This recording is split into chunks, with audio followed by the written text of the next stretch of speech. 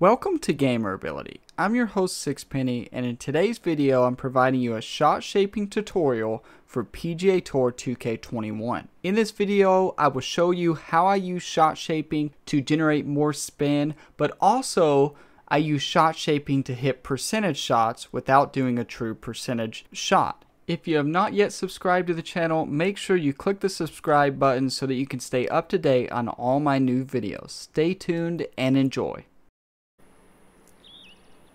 So for the purposes of this shot shaping tutorial, I am on a practice course that I have and I'm I have difficulty turned down, I have the power bar on and swing timing turned off just so I can show you how specifically shot shaping can you can use shot shaping to really hit percentage shots easier than actually trying to hit less power by moving the stick back less.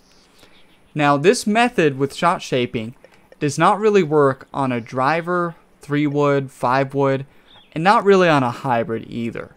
Um, so if we hit a 5 wood, let's say so if you hold down LB, that's how you get into your true shot shot shaping here. If I move the left stick down on the screen, it's going to change the loft. So de-loft would be moving it up, and then loft, loft the ball higher would be moving it all the way down. And this is also where you can move into your draw and fade. I don't use those shot shaping features very often. Uh, I most I do sometimes, but penal, tempo penalties and forgiveness make me avoid it most often. Now the right stick will change the attacking angle of the shot. So this is how you can generate more spin or generate less spin. If, if I move it up, I generate less spin and I hit the ball, kind of hit on, on top of the ball a little bit. If I hit all the way down to the minus sign, this is going to add more spin to the ball. So if I hit the 5 wood and I even, I move, I loft the 5 wood all the way up and I add all the spin to it that I want. If I hit a 100% shot here,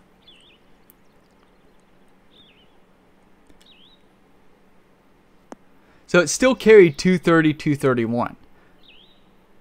But it rolled out about 12 yards. If I was to hit the regular 3 wood there, it would have rolled about 15 to 20.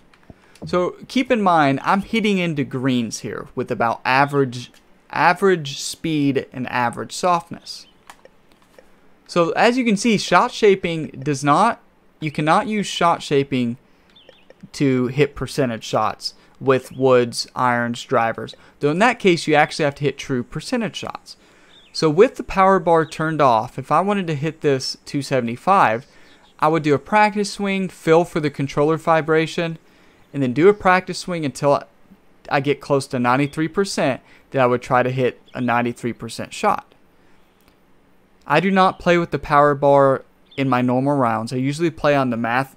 I play on the TGC Tours difficulty settings. There are in some cases in my career mode series where I play on those settings, but I actually play on pro swing difficulty. But for the most case, I play on master swing difficulty.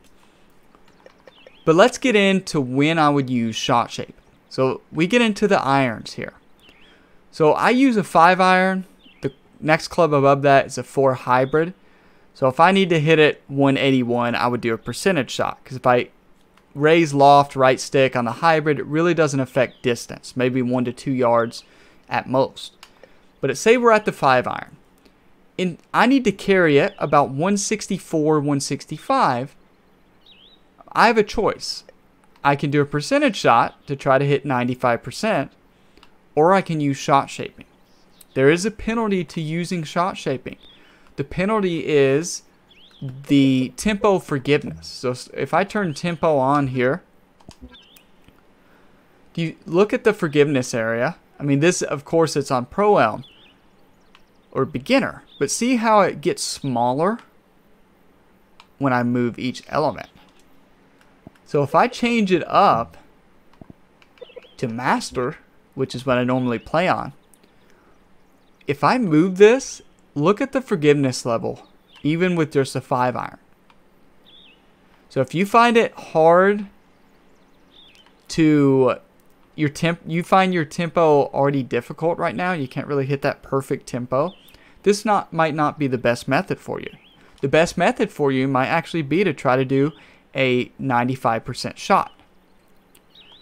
But what I like to do is go into shot shaping. If I move the left with any iron or wedge, if I move both, so if I move the left stick down to right before it changes, see how it's dark here and it changes to light at the very bottom of the circle. At the very edge of the dark, if I hit there, I'm actually going to hit in between the two clubs. So I did a fast follow through there. Let me turn off the difficulties. Turn off swing timing so I can show you what I'm talking about. So let's rewind the shot. If I hit the 5 iron and I move the loft down to just before it changes from dark to clear here, right before it, if I hit 100%, this should land about 165. It's 165, perfect. But see how it still rolled out? A pretty good roll. It would have probably rolled out about 10 yards. How can we adjust for that? So what I do in this case, I want to hit the green at 165 and roll out to land close to this pin, maybe a little bit after it. So in order to do that, I'm going to use shot shaping there to that same level, right? So it changes. So it's gray here, gray and black on the outside. We want to move it to just before it changes to white, a white solid down here without the black background. So right there, and I'm going to move the right stick. This is how you get the spin. I'm going to move the right stick to match it. And then I'm going to hit the shot we should still land about 165. And we did. But the difference is, is the spin. You're going to generate a little more spin. So one tip, if you're just going for distance control, you don't care about spin, just move the left stick down. The loft is how you're going to change your distance. But the right stick is how you're going to generate more spin.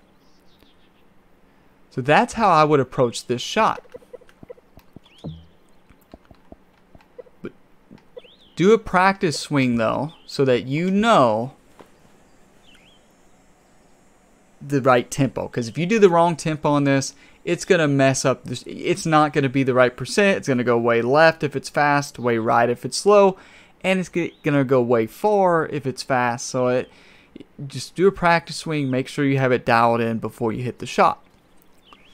Now you can do that with any. Now, for another example here, if I hit the six iron, I'm trying to hit this marker here. So it's going to carry 161.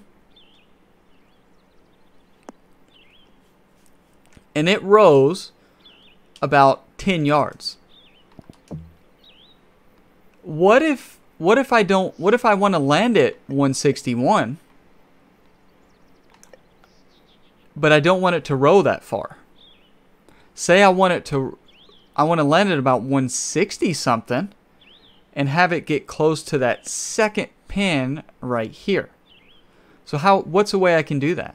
So you can actually hit a 5 iron, go into shot shaping, hold down LB, move the left stick all the way down, and move the right stick all the way down.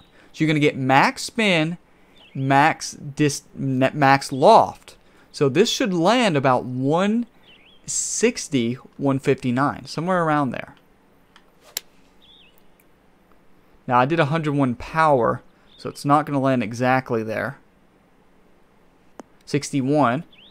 And watch how, look at the spin and how we almost hit the yellow marker. I like to do that shot a lot. But again, we have to keep in mind that if we're on master difficulty and swing timing's turned on, that shot's going to look a lot different. Look at the forgiveness when I move both of them all the way down. There's not a lot of window for error. So that's how I do percentage shots. I do that technique all the way down to pitching wedge, sand wedge, lob wedge. Now, when it's a little bit different, when I'm hitting a sand wedge here, and I do the same thing,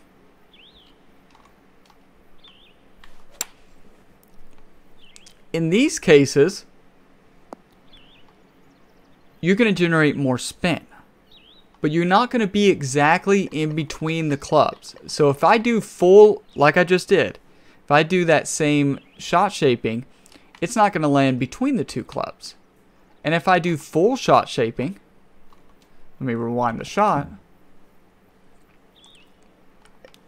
So let's say I hit the sand wedge and I go all the way down and all the way down. Instead of, let's see where this lands. Instead of around 82, we land, wow, that was very nice roll.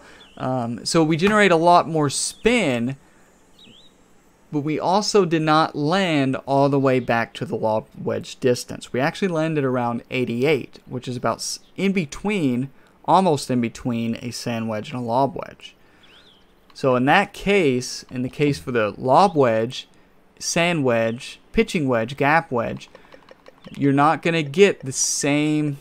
You, you need to move it down a little bit farther if you want to be in between clubs. But keep in mind, you're going to generate more spin that way, and the shot's going to be less forgiving. But that's the technique that I use a lot of times for percentage shots with the wedges. Unless I'm in high winds or very high winds. If I'm in high winds or very high winds, I don't use a lot of shot shaping because the wind will affect the ball so much more if you loft it into the air. Sometimes even de-loft it to take out the wind. So then if we move in, the next thing we're going to move into is pitching. But for normal shots, you know how to use the shot shaping now to generate more spin, but also to use instead of doing percentage shots. So that's the method that I use to dial in distances between clubs. Now as we move into pitching, the most I usually pitch with is a 9 iron, but some there are some cases if I'm trying to keep it out of the wind, I'll hit a 8 iron pitch. Now I will tell you, the shot shaping does not behave the same way as for a normal shot you're not going to hit in between clubs even if you move the, both shot shaping features all the way down. And I'll show you next. So if I hit the 9 iron between 92, it's supposed to land between 92 and 79. Now if I hit it with full loft,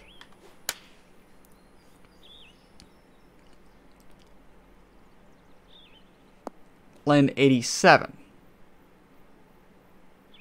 So it's not exactly in between the two numbers,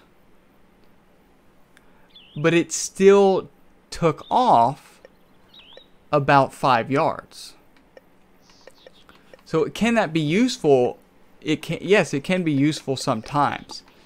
But I don't think shot shaping is as useful for distance control on pitches. I think it's so better to actually try to hit percentage shots on pitches.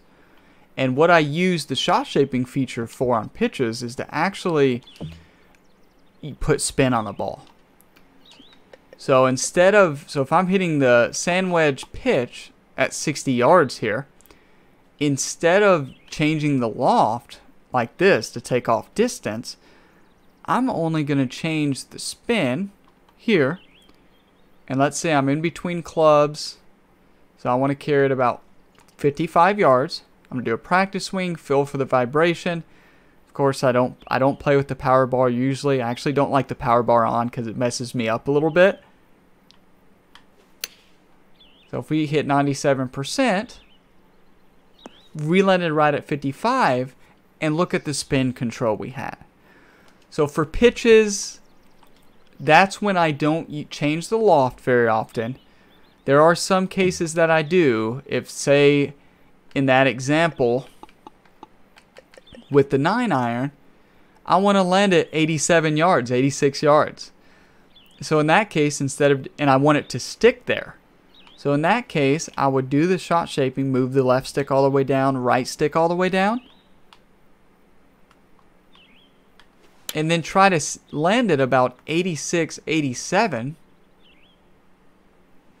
and get spin. Well, that hit the post, so it really spinned back. So that's when I would use that type of shot.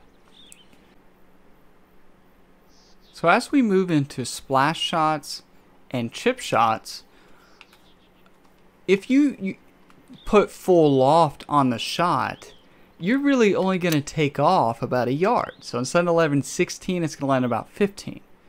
And then roll out about 3 yards. So loft becomes less important.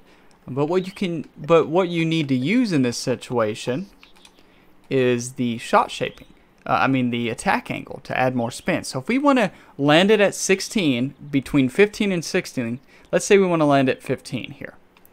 So what I would need to do is take off one yard by adding full loft, add max spin because when it hits, I want it to bounce forward about a yard and land right next to that marker.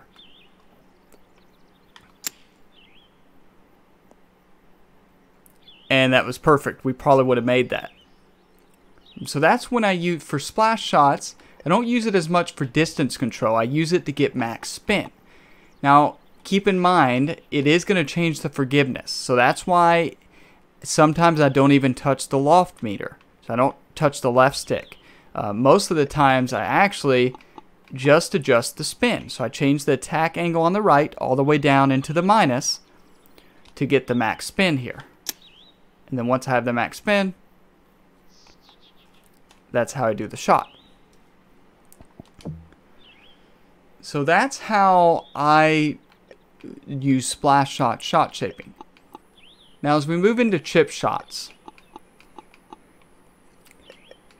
as we're looking at the different levels, I rarely ever pitch with, I mean chip with anything over a pitching wedge.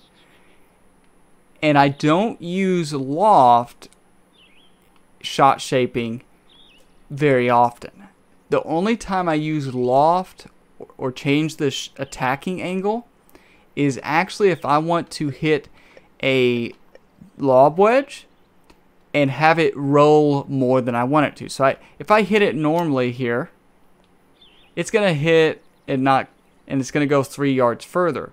But say I want to carry it a little further without actually moving up to a sand wedge because I think the sand wedge is going to roll out too far. So I'll you go to the lob wedge you do shot shaping, I'll, I'll go up about two clicks, both sides, and then hit it that way. So I'm going to roll out about 11 yards. So I, I picked up about one yard roll. So I do that in that in some cases. Not very often though. A lot of now on chips, mostly what I do, same thing with splash shots and pitching pitching shots. I actually do percentage shots. So if I wanted to hit here, in this case I would add a little bit of backspin on it. Change the loft just a little bit. Feel for the vibration. I don't even look at the power bar when it's on. And then we hit the post. So now you know how I use shot shaping to generate more spin on the ball and how I use shot shaping to hit percentage shots, even though there's a forgiveness penalty. If your tempo is getting more consistent, that's when it's better to use this technique. If you're having trouble with forgiveness,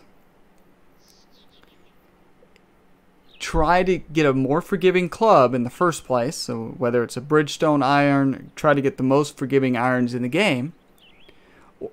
And just do real percentage shots instead of doing touching the shot shaping feature. So just go with the old-fashioned percentage shot there. I hope this helps you understand how I use shot shaping. I hope this helps you understand how you can use it. In summary, LB is how you pull up shot shaping. You'll control loft and the attack angle. Um, the loft on the left affects the distance that the ball is going to travel the right stick actually adjusts the spin on the ball. So I hope this helps. Let me know if, you have any questions in the comment section below. The next tutorial series I'm going to do is actually a full hole tutorial to where I can show you the different elements. In that tutorial, there's going to be, uh, first time I'm going to do it on demonstration purposes with difficulty settings turned down, and then the second I'm going to replay the the whole over with actual master TGC Tour settings so that you can see how I use the system in real time. And there will also be more specific tutorials coming out on the TGC Tour settings and how to improve your game without the power bar on Master Club difficulty and with all these settings turned off. So those are, and then make sure you check out the career mode series. That's one of my favorite series. It's I love to play through the career mode. So make sure you check that out because you'll see me using my system in an actual round. Thank you for watching this video. Thank you for your support. I could not do this without this community. Thank you for watching this video. Don't forget to like and subscribe to the channel and keep coming back for more content like this and to improve your gamer ability.